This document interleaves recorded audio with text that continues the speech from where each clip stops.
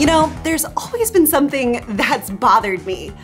Why do American and German cars look so different? I mean, sure, cities here are a lot denser and our roads are quite a bit tighter. But that's mostly in the old city centers where cars are largely not even allowed anymore these days. And yeah, gasoline here in Germany is more expensive. But the average American commute is four times of the average German. So arguably, fuel economy should be just as significant. And to be honest, I have never seen a country more obsessed with towing things from campers to utility trailers than here in Germany. And they do it all with standard sized cars. So why is it then that when we have pretty similar family sizes, and when we have pretty similar uses for our vehicles. Why do Americans overwhelmingly opt for vehicles that look like this?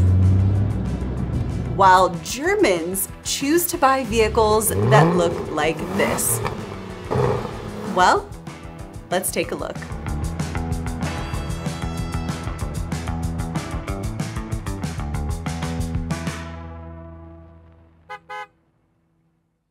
In a couple of videos now, we have discussed the culture shocks that we've experienced driving in Germany.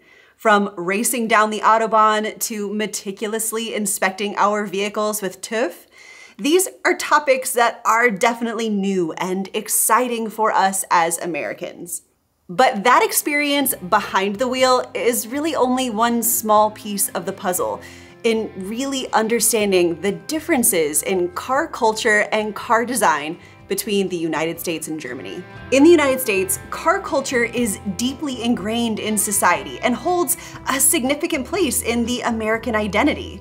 The vastness of our country, extensive road networks, and a historically strong automotive industry have all contributed to a car-centric lifestyle. And American car culture often emphasizes this idea of freedom, personal identity, and adventure that are all tied to the automobile. It's common to see large, powerful vehicles such as pickup trucks and SUVs on American roads. But in contrast, Germany has a long-standing reputation for engineering excellence and precision in the automotive industry. German car culture is characterized by a deep appreciation for high quality craftsmanship, performance, and technology. And you see that in the kind of cars that are regularly driven, with the prioritization of, again, precision, efficiency, and driving dynamics. They value luxury brands such as BMW, Mercedes-Benz, and Audi, which are renowned for their engineering prowess. And Germany is home to several iconic racetracks, including the Nürburgring, and motorsports play a crucial role in the culture. But if the sentiment holds true that we are what we eat, perhaps our respective cultures can also be illuminated by the kind of automobiles that the consumers consume. Buyers express their personalities through their choice of mark, model, and features. Not to mention their desires, their private circumstances, and often also the scope of their budget and discretionary funds. Our preferences on automobiles are also physical and have a ripple effect on so many aspects of our everyday lives. It shapes our cities, roads, and our proclivity to forego the car altogether and favor public transit investments. It changes the way our homes look. It changes the way we shop. But it also gives subtle clues on what's going on behind the scenes too. The cost of fuel, and how the government regulates or doesn't regulate private industry, and carbon emissions. And you know, I think the best way to start this conversation is just to simply take a look at the kind of cars our consumers prefer to purchase. Here in Germany, the Volkswagen Golf has been the best-selling car model for every calendar year since 1981. And this is somewhat unsurprising because Volkswagen quite literally translates to the people's car and they've been the largest car maker in Germany, selling 8.7 million vehicles just last year in 2022. And although Volkswagen is definitely a very traditional German brand, they're also a global car company and one of the biggest players in the automobile industry. According to a study published by the German think tank Friedrich Ebert Stiftung in 2018, over half of passenger vehicles destined for Europe and almost two thirds of all luxury cars sold worldwide were German designed. And when we take a look at the top 10 vehicles sold in Germany, we can see that Germans do love their German cars. In fact, 14 of the top 20 vehicles sold last year in Germany were German brands. But on the other side of the pond, when it comes to the kind of cars that Americans prefer to get in a committed vehicular relationship with, you know, it's pickup trucks that really sets our hearts aflutter. Turns out things like towing capacity and payload can really get the motor running. Trucks represent about 20% of US sales this year, a tad more than cars. In fact, pickup trucks, whether it's the Ford F-Series, the Chevy Silverado, and the Ram pickup, account for three of the five best-selling vehicles this year. And this doesn't even take into account the car or truck-based SUVs. Taken all together, these vehicles now make up 7 out of 10 American vehicle sales, but the undisputed king of the road, with one sold every 49 seconds, is the Ford F-Series truck. It's the most popular vehicle in the United States and has been for 41 straight years. And as a Midwestern girl whose dad is a farmer, this is completely unsurprising to me. Although I should probably mention, uh, my dad prefers the Chevy Silverado. Sorry, Ford. But I grew up in farm country, and pickup trucks are simply a way of life there. They're a tool of our trade. But that being said, the vast majority of people who own a pickup truck in the United States don't actually need one. I mean, there have been numerous studies that show that the majority of pickup truck owners aren't hauling construction equipment or landscaping supplies. They're simply using it to haul their suit and tie butts to work. But listen, I'm not here to stand on that particular soapbox at least not today. If you're looking for a much more in-depth look into the evolution and psychology behind America's love affair with pickup trucks and SUVs, I'm gonna link to a video from one of my favorite YouTubers, Not Just Bikes, down below.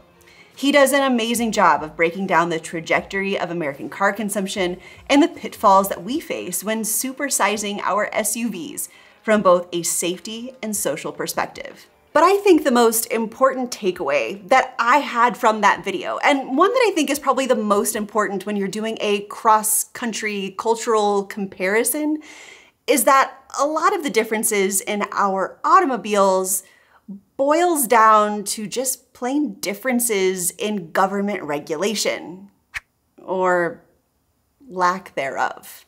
Because yeah, I think one of the most overlooked reasons for the difference in vehicles between the US and Germany is government regulation. And to be honest, it's easy to understand why most people don't think of regulation as being a major determinant. After all, car sales are global, right?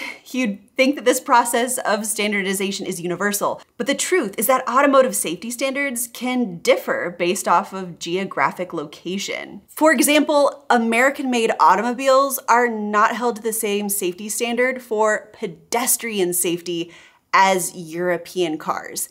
And that can lead to pretty dramatic differences in their overall design. European automobile manufacturers must construct their cars under oversight from the European Union. Notably, the General Safety Regulation actually requires automobile manufacturers to make pedestrian safety protocols mandatory for all vehicles by addressing pedestrians and cyclist specific concerns. And in regards to design, this is implemented in a few notable ways that differ from American cars, such as hood distance, raised front seats, smaller wheels, and an emphasis on reducing impact severity on the legs and head through softer materials, inside bumpers like foam, and crushable plastics. So that's in part why the Ford Escape looks like this in the United States, while the Ford EcoSport the European version of the same vehicle looks like this. You can see that not only is the hood shorter, but it's sloped down to give the driver better visibility for potential pedestrians in front of them. Now, while in the EU, by and large, their car safety standards are all based on the United Nations research and recommendations.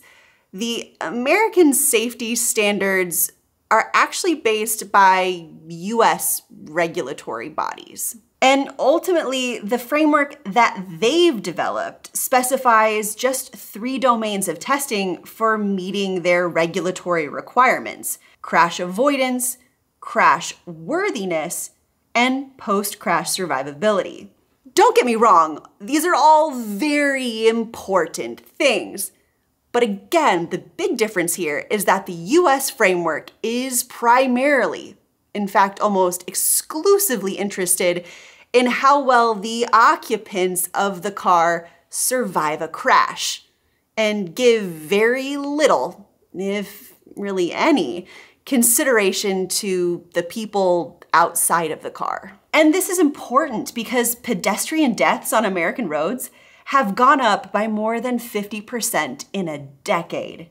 And although the reason behind this is complex, data shows that drivers of pickups, minivans, large vans, and SUVs are all more likely to hit a pedestrian than a car. So, given the fact that during this same time period, the purchase of those same SUVs, minivans, and trucks has gone up, while the purchase of cars has gone down, well, this kind of result is tragic, but not necessarily hard to believe. And here's something else that is also really shocking. The European New Car Assessment Program, or the Euro NCAP, is a European voluntary car safety performance assessment program based in Belgium, and every year they release their list of the safest family car. In 2022, the Tesla Model Y took the top spot.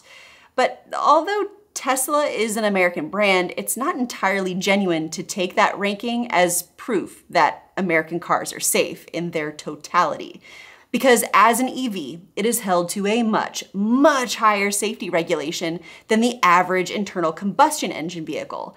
In fact, EVs are regularly given the highest possible safety rating in crash tests by the National Highway Traffic Safety Administration thanks to the external aluminum plating surrounding its battery array and the extra layer of fire protection between its batteries and passengers. So if you take Tesla out of the equation, the next American made family vehicle, when ranked by European standards, comes in 49th place in terms of safety. And maybe we shouldn't be so surprised. After all, American made vehicles have a much higher recall rate than their competitors. And in addition to this, the seriousness of those recalls is generally higher for American made cars. And you know, uh, speaking of regulation, this idea that we should have some kind of oversight to ensure both fairness and quality of course, this doesn't just end with safety. When it comes to automobiles, the government, both in the US and in Germany, regulates almost every facet of our interaction with them because they're dangerous and require a certain level of responsibility. But one of the things that I find is often less talked about, but is extremely important in understanding why cars look so different between Germany and the United States all kind of comes down to how those cars are taxed in each country. And the long story short, taxes are higher on cars in Germany. Now, I'm not going to get into the weeds today on specific calculations and loopholes and caveats on how you pay taxes on your car because quite frankly, how much you pay in taxes and how you pay those taxes varies greatly depending on where you live. But if you keep things simple with just looking at the purchase of a new car for private use, the sales tax and property taxes that we would pay in the US on average doesn't even amount to half of what sales tax alone is here in Germany. And here's the really interesting bit. In the US, all of those taxes are calculated as a percentage of the monetary value of the vehicle. And sometimes there's a fancy little calculation done on the weight of the vehicle, but again, that's somewhat niche. But in Germany, in lieu of property tax, we pay a motor vehicle tax that has nothing to do with the purchase price of the vehicle at all.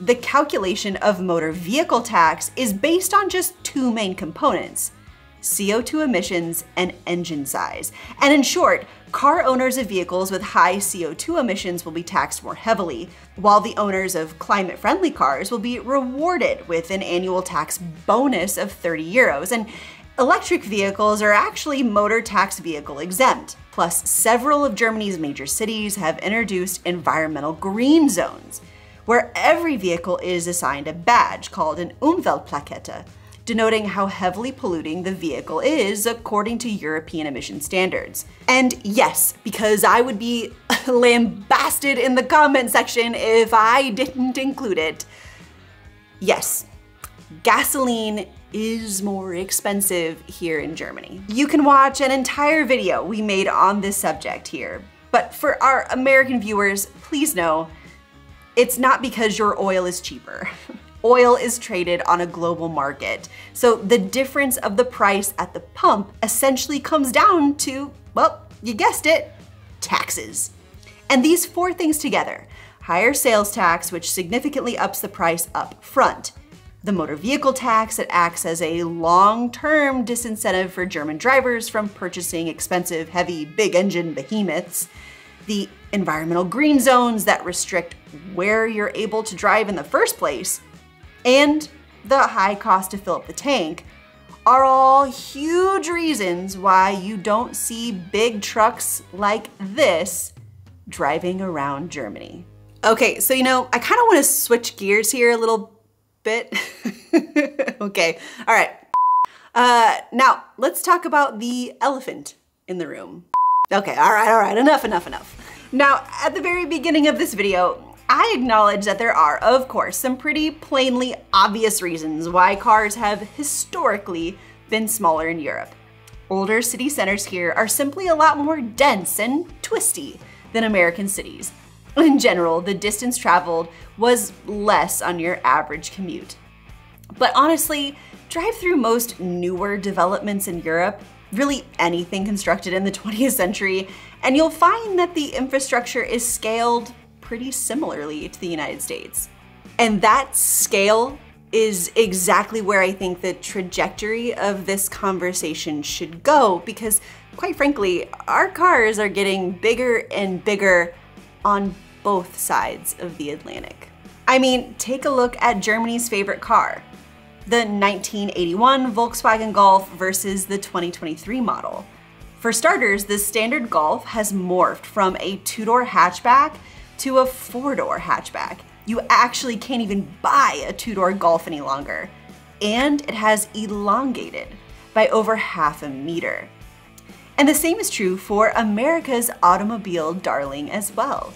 The 1981 Ford F-150 versus the most popular 2023 trim level, the Ford F-150 Platinum, which by the way accounts for nearly 50% of Ford's F-150 sales amongst private consumers. And wouldn't you know, it has also morphed from a two-door to a four-door vehicle and has also become more elongated. But the Ford F-150 has also changed from a utility vehicle to a luxury vehicle, not just in amenities such as saddle leather and panoramic sunroofs, but in price as well. In fact, the top of the line Ford F-150 Raptor starts at a price of nearly $13,000 more than the starting price of a Porsche 718 Cayman. And yes, yes, okay, I know, I know. These are two very different vehicles that have completely different use types on paper. Because, you know, are they really all that different? I mean, in the 1980s, half of all trucks were considered small or midsize. By the 2010s, though, small pickups had all but disappeared in favor of huge luxury trucks. Trucks that today are used far more likely for hauling groceries and kids to soccer practice than construction materials or farm equipment. And I don't know about you, but I would much rather do my errand running in the Porsche than just rent a truck for the handful of times I need to actually use an open bed pickup. It'd probably be cheaper too. Okay, all right, but, but I digress because the point I'm trying to make here really doesn't boil down to cost but just simply the idea that the vehicles that we're consuming are becoming larger and larger, and that's not really just an American phenomenon. Crossovers are the fastest growing segment in Europe, outselling traditional cars in many countries. And while you certainly won't see as many heavy duty pickup trucks and hefty land yacht SUVs over here, they do exist and their market is growing. In fact, the Volkswagen Tiguan and T-Roc are the second and third most popular vehicles in Germany, respectively. You know, I might not be a gearhead quite in the same way as my husband, but as a researcher, I found this thought experiment wildly fascinating. By value, cars are the most traded product in the world. Germany is the world's largest exporter of vehicles and the US is the biggest buyer. So I think this conversation today about just the differences in car design and really car preferences between US and German consumers was just wildly fascinating and really honestly had me thinking a lot about the kind of cars that I've bought over the years and how my preferences have changed since I've moved to Germany. And you know, if you're at all interested in continuing this conversation, well, I actually have something that I am pretty excited to share with you. In my past life, before YouTube, before even moving to Germany, my identity was as a university instructor. So I am so excited to announce that we are officially kicking off our Patreon community. Depending on which membership you choose, you not only get access to our official Discord chat room, but you can also get early access to videos, exclusive merchandise, give me feedback on content before it's published, and of course, chat with me. Because really, when I think back to my time in the classroom, it wasn't really just the content that I was producing that made me so passionate about it. It was the fact that I got to have conversations with people who were just as interested in learning about these topics as I was. So I hope you check it out and we can continue these deep dives together. And as always, if you enjoyed what you saw today, be sure to hit that thumbs up button and for more content from the Black Forest family, hit that subscribe button. So, until next time, juice!